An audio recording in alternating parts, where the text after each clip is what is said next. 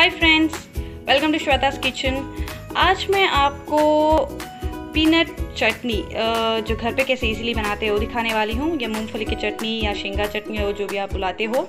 सो so, इसे मैं आपको बहुत ही इजी तरीके में बता दूँगी। फाइव मिनट्स में आपके घर में बन जाएगा ये ड्राई चटनी पीनट चटनी।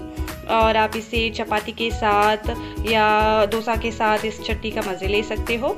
इसके लिए four to five five ingredients में ये चटनी बन जाएगी और इजी भी है। सो so, इसके लिए मैंने मूंगफली लिए हुए हैं। इसे मैंने 500 ग्राम मूंगफली लिए हुए हैं।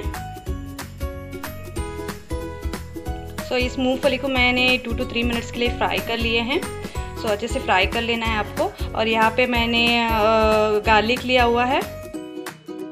और मैंने टर्मलिन टर्मरिन लिया हुआ है। यहाँ पे मैंने इमली लिया हुआ है और मैंने टू एंड हाफ़ स्पून मैंने रेड चिली पाउडर लिया हुआ है। सो so, और थोड़ा सा सॉल्ट टू टेस्ट और इतने इंग्रेडिएंट्स में आपको ये पीनट चटनी ये घर पे बन जाएगा। सो so, चलिए इसे फटाफट स्टार्ट करते हैं फ्रेंड्स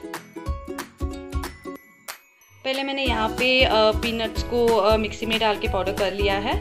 अभी मैं इसमें गार्लिक और रेड चिली पाउडर और ये इमली इसमें डाल रही हूँ। मैं अभी गार्लिक डाल रही हूँ।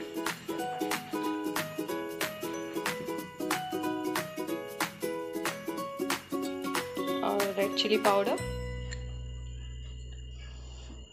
और टर्मरिन इमली वो डाल रही हूँ। और मैंने सॉल्ट इसमें ऐड कर लिया ऑलरेडी सो इसे मैं अभी और एक बार मिक्सी लगाऊँगी। तो हमारा पीनट चटनी रेडी हो जाएगा। सो इसे मिक्स मिक्सी में अभी मिक्सर में लगाना है। फ्रेंड्स पीनट चटनी जो ड्राई चटनी है या मूंगफली की चटनी जो अभी रेडी हो गया है। सो so, इसके लिए आपको जस्ट फाइव मिनट्स लगेंगे और बहुत ही इजी है। सो so, आप भी इसे घर पे ट्राई कीजिए और चपाती के साथ या डोसा के साथ इस चटनी का मज़े लीजिए।